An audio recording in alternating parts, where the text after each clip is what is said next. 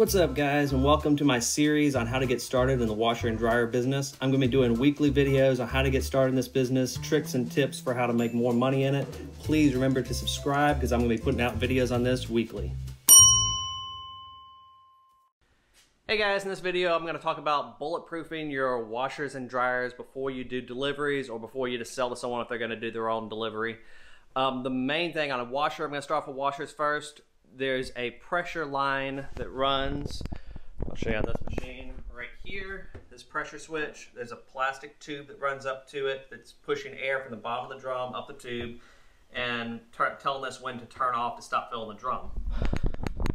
Always, at least in my opinion on this, uh, I always take a zip tie and I zip tie both ends of that. The end that has the uh, that connects to the bottom of the drum and the end that connects to that pressure switch. I'll put a zip tie on both sides uh, when you're delivering, the issue is that you're shaking this machine a good bit. You're going down the road in their truck. You're putting it on a dolly. You're moving to someone's house, and that little line, if it pops off and it's just stuck on there on most machines, there's nothing there. On some of the newer machines, they are zip tying them on with little special zip ties, but they are doing it now. But on most machines, it's just stuck on there. And when I pull them off to put the zip tie, I always pull them off first and I cut a tiny bit off so it has a new fresh end that will hold a little bit tighter because over time that will be kind of like a little stretched out around that hole and if it starts breathing around that hole it's just as bad. It will slowly leak out and the washer will continue to overfill. But if it's off of one side or the other the washer will start filling and it will definitely overfill. Also while i'm there at their house delivering i will zip tie again the drain line going to their main drain for the washer I'll zip tie it usually to a strap tie or whatever is close by. Sometimes there's a little spot you can zip tie it to that's built on the drains. But um, especially newer washers, the holes are very small. It's a lot of pressure and it will launch out there like a little rocket and it will just spray all over the wall or just land on the floor and fill up the floor with water.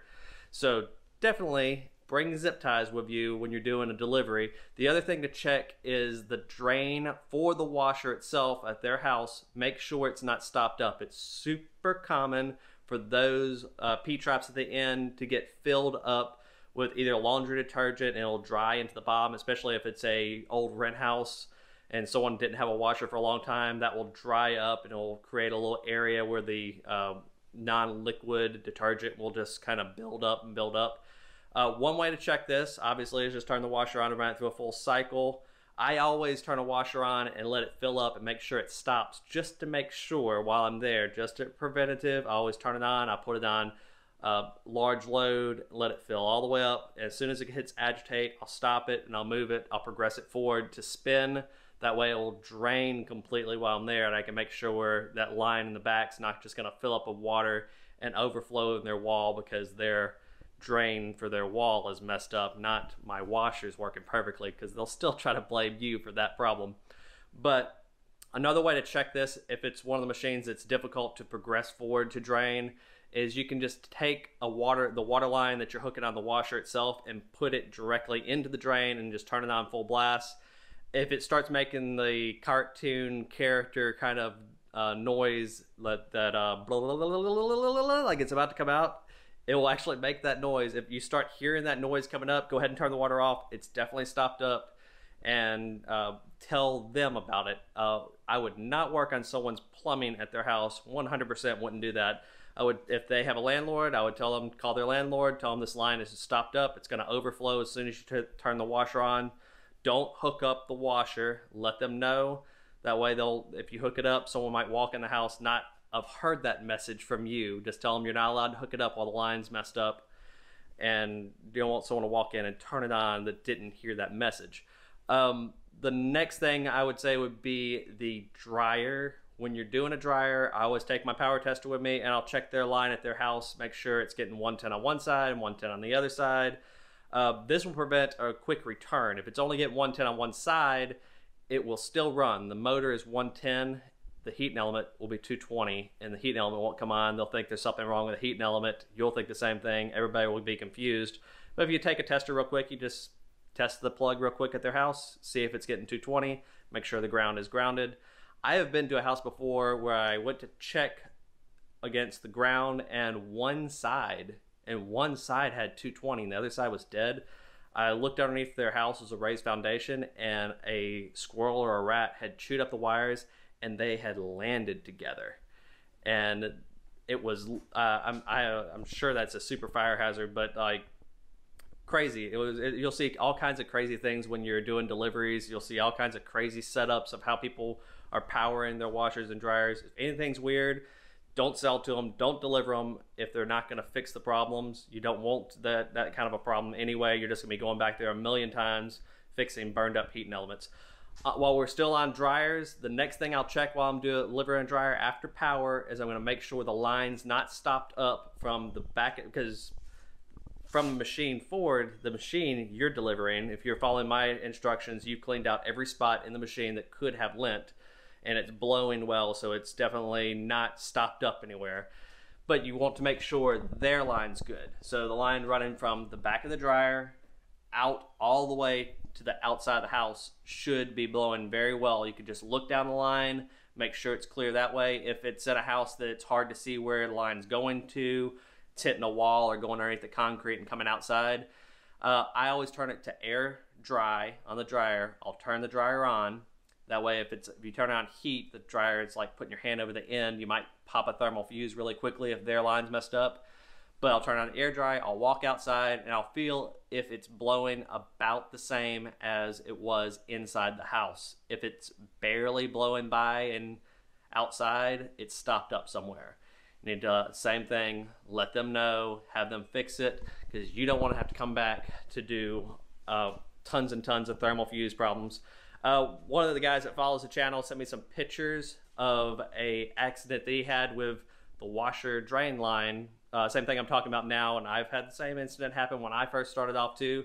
Is he didn't tie that drain line on, and it slowly worked its way out and dumped on the customer's floor, and luckily it was a kind of older rug and he just had to replace the padding underneath it.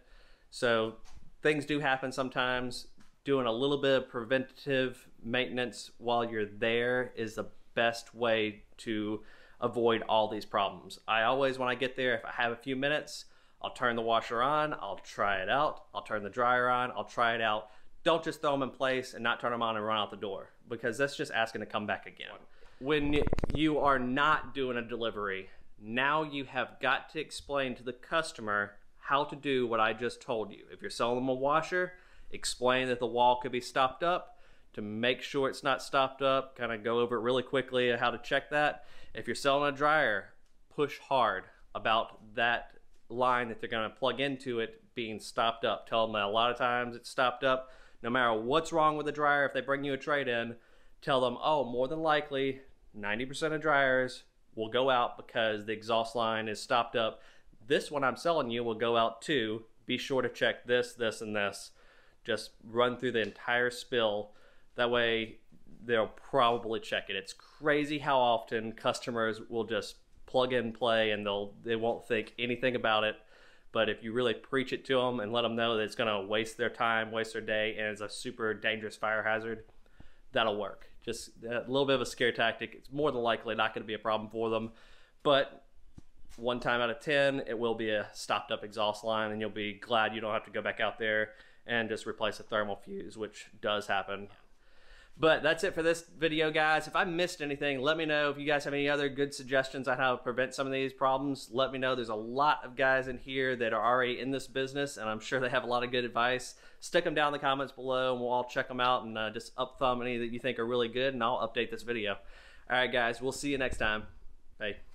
Hey guys, I also wanted to touch base on one more thing. I've gotten a lot of questions about whether you should start an LLC, whether you should get liability insurance, should you have this the customer sign a waiver should you ever let a customer come pick up without going to the house and doing deliveries and these are the things that uh, are very good questions but most of this is stuff that you'll have to take to a lawyer from because it's different from state to state especially on like waivers and things for the customers to sign I did years ago. I remember it wasn't very much money at all. I gave them a general outline of what I was looking for. They drew it up really quickly. But any business has the potential from getting sued. This is just a harsh reality of owning the business and starting the business. Uh, liability insurance is not that much money, so look into these kind of things, but don't let this video scare you from getting started in this business.